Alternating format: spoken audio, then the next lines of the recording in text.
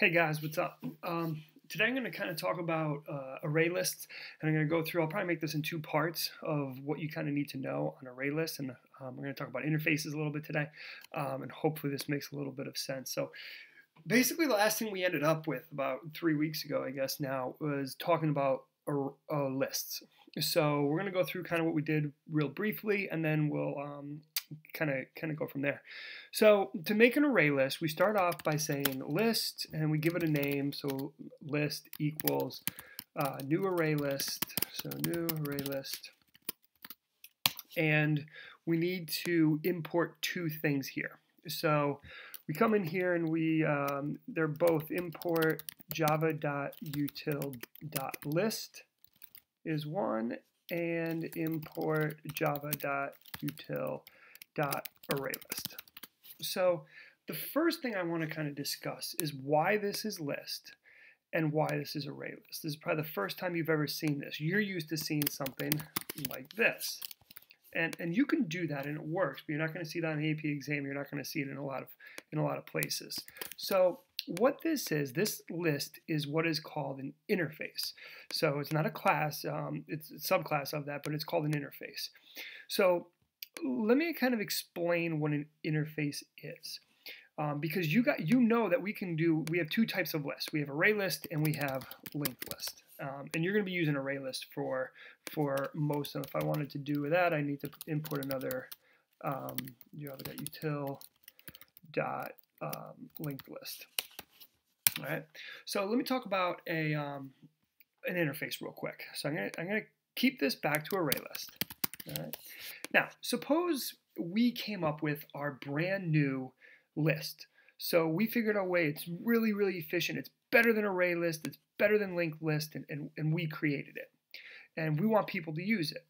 Well, you kind of know we don't want to confuse people, and people have been using array lists or lists in general, array list and linked list, for a while. So they know that there should be something like list dot add, there should be list dot size, there should be list dot um, get uh, set. So we don't want to confuse them. So we should, if we're going to make our own uh, new, brand new uh, class that we have, we should kind of follow the same construct that, that they did so we don't confuse people. So if I was making my new one here, I'd come in and I'd say, okay, new class, and I'm going to call this um, my super list. So that's my, my class name. All right, so this is, the, this is the best list that we can possibly create. And I'm going to come in and say public class super uh, my super list, and I'm going to say implements list. Okay, now it's not going to know what list is, so we just come in here and we do our import java.util.list. And as soon as I hit here, we get another red. And it says here that the type superlist must implement the inherited abstract um, method list.size. Oh, okay, so I, it, it, must have the dot size method. So I come in and I say, okay, so public, so if I looked at that again, okay, oh, this is really nice. I can just add all the unimplemented methods. So I'm going to type them all out. So add all the unimplemented methods and look at them all. So here they all are. And you're going to see these are all the ones that um, were there. So there's size, there's is empty, contains. Um, these are not all the ones we do. There's add, um, there's remove. We should know how that works. Um, and now I already have like a template that if I was making my own super list that I, if I wanted to, I wouldn't skip any methods that people are already familiar with.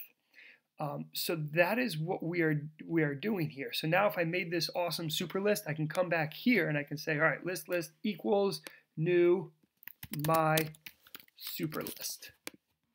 Okay. And then I can come in here and do list dot, oh, there's add. Um, obviously I didn't, you know, do anything in there for my add and my size. I'd have to, this one's just going to return zero and, and, and everything. I'd have to actually do some stuff. Um, but there it is. So that is why we have this is called an interface. And, and um, I'll get into it a little bit later if you want to create your own interface. It's actually really easy. Um, you just basically say what methods they need to they need to write. Um, so um, I'll, I'll come back to that maybe in a little bit. Um, but if what you need to know is that this is an interface and it just gives you a, um, a template basically for everything that's going to be in there. So I'm going to come back and jump into um, new array list. And let's just go through a couple things just to make sure that we are okay um, with this. Oops, I just took out that last one. I don't want that one. Take away the link list. So a couple things to, to get for, for here too is right now these are all objects. And you should, and they'll be very specific, you should say what these are going to hold.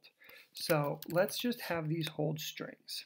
So this is what we do here to, to have, now we know that this list is going to hold strings. So I can come in here and do list.add, and I'll put in here some names here. So Ryan, um, list.add, uh, mine, Jeremy, and list.add. We'll come in and do Michael. Oops come in, do list dot add, um, Kendall, so on and so forth. All right, so now I have um, my list and I added things to my list. And a couple things you need to know, so that's how you add. Um, you need to know that add will always append it to the end. Um, so make sure you know that. Uh, remember that there's an appendix list that you should know that you should know what add is. Um, you should know that you can add in um, a specific spot. So if I wanted to, I can do add um,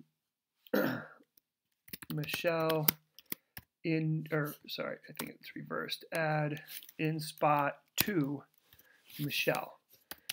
Okay, so that will add um, Michelle in spot two then after. So if I did system out dot print line. Let's do list dot get, and this takes in an index here.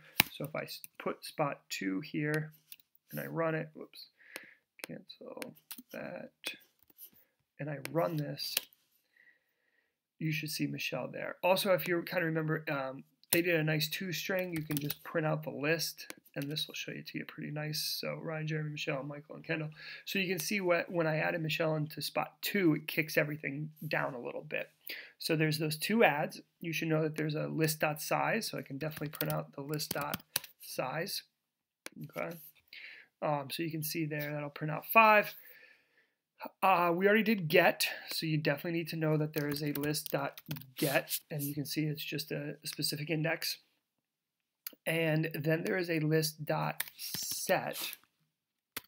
So it takes in the index that you want to set and um, the element because that's going to remove the other one.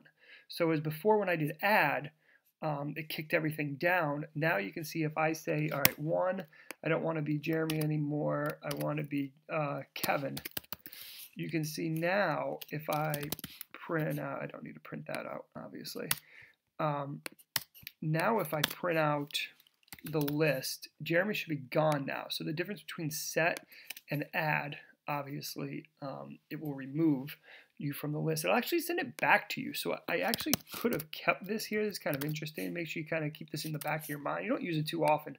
Um, but if I print this out, it will actually print out what was there. So you can see I can actually print this out. It's, it's not a void method.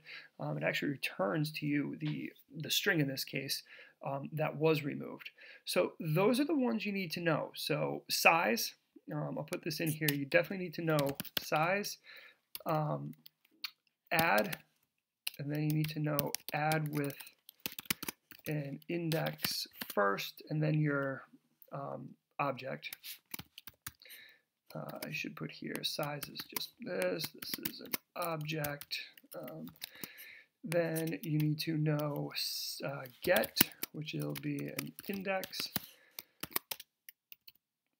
a set, which will be an index, and then you send over the object, and then finally just a uh, whoops a remove, which will just um, take in the index there and, and remove it. So those are the, is there six there that you need to know? Um, what I'm going to discuss in the next video, so that's just a quick video just to make sure we're okay on that. The next video I'm going to ex um, expect, I'm going to go through what you guys need to know, be able to do with a list is you accumulate stuff. Um, you need to be able to know the, you know, the, the low, be able to grab the lowest slash highest. Um, you need to be able to see if something exists or not. So I'll call that existence okay, whether something's there or not, um, and then be able to tell like, hey, where are you? Um, and I have a video for that. I might link you to another video that kind of goes through all that um, pretty well, but um, we'll kind of go from there. So hopefully that makes a little bit of sense. Um, that's part one, uh, just a little bit of a review on, on lists.